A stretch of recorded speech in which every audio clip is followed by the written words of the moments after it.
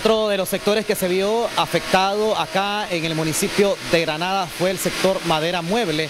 Para conversarnos acerca de ese impacto negativo que está teniendo actualmente todavía este sector económico de la Gran Sultana, está con nosotros Julio Chávez, acá nos ha atendido en su taller.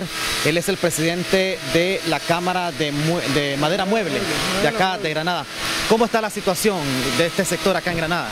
Bueno, pues la, verdad que primeramente gracias, ¿verdad? Por darnos la oportunidad de expresarnos a nivel nacional y que sepa, pues, que sepa la, la realidad porque estamos viviendo como como gremio, como gremio.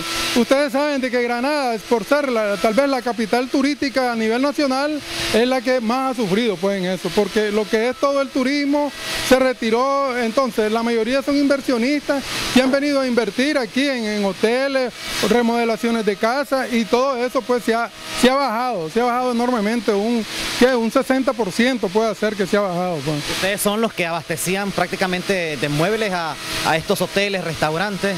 Sí, efectivamente, nosotros estábamos pues siempre eh, de vanguardia con ellos pues y, dándole las gracias también porque la verdad que era lo que nos estaba manteniendo pues. Pero ya si, si Dios quiere pues y si el gobierno se pone las pilas pues esto esperamos que sea un cambio pero que sea para una mayoría, pues, los beneficios y no para una minoría, pues, para que trabajemos todos en conjunto, pues, que es lo que se tiende, que es lo que queremos todos. ¿Cuántos eh, propietarios o cuántos talleres de madera hay acá en, Granada de los que ustedes atienden como cámara? Eh, ahorita como cámara estamos organizados 15, pero hay más, hay gente pues que no, no, se, ha, no se ha organizado, no, no le gusta pues tal vez este gremio. ¿Cómo fue el impacto en este sector? Pues ya como le decía, ¿verdad? Bastante, bastante lastimoso, pues, bastante lastimoso porque y ahí, este, se nos han parqueado, pues, las divisas, como decimos, pues. Porque al parquearse el trabajo, se parquea todo. ¿No cerraron, sí, algunos? Sí, la mayoría sí, la mayoría sí, están más bien hasta vendiendo las maquinitas que tienen para poder comer lastimosamente, brother.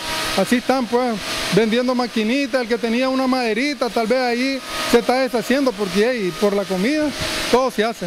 Y me imagino que tuvieron que despedir colaboradores a sus trabajadores. Sí, sí, sí, sí. Eh, yo, tenía, yo tenía como alrededor de 20 y tuve que, tuve que depurar. Tuve que depurar en esos momentos porque la situación de los, de los tranques y ahí yo no podía, eh, producir aquí pero no podía ir a entregar, entonces estaba, estaba, estaba bloqueado. Pero ya hoy, gracias a Dios, pues estamos comenzando nuevamente y estamos viendo a ver pues de que ojalá que el cambio se mantenga pues y que sea, como decía, en beneficio de una mayoría y no de una minoría. Muchas gracias, don Julio, por la entrevista que nos ha brindado. Nos encontramos pues siempre acá en el taller, vean ustedes pues las personas, son pocas las que están laborando ahora acá en los talleres de madera mueble. ¿Usted cuánto tiene de trabajar, madrecita? Dos meses. ¿Dos meses? ¿Y te viste afectada por la situación? Sí, claro que sí, porque también iba a ir una de las que me iba de viaje, pero gracias a Dios pues me dio la oportunidad de, de seguir. ¿Siempre ha trabajado en esto, en Madera Mueble? Sí, siempre. Muchas gracias. Esta es la información que quería compartir con ustedes, el impacto económico de este sector madera mueble y tal como lo han afirmado los presidentes de esta Cámara, han manifestado que lamentablemente han, han tenido que despedir colaboradores y sobre todo el trabajo está, como se dice popularmente, parqueado. No hay trabajo en este tipo de sector. Esta es la información que quería transmitirle a todos ustedes.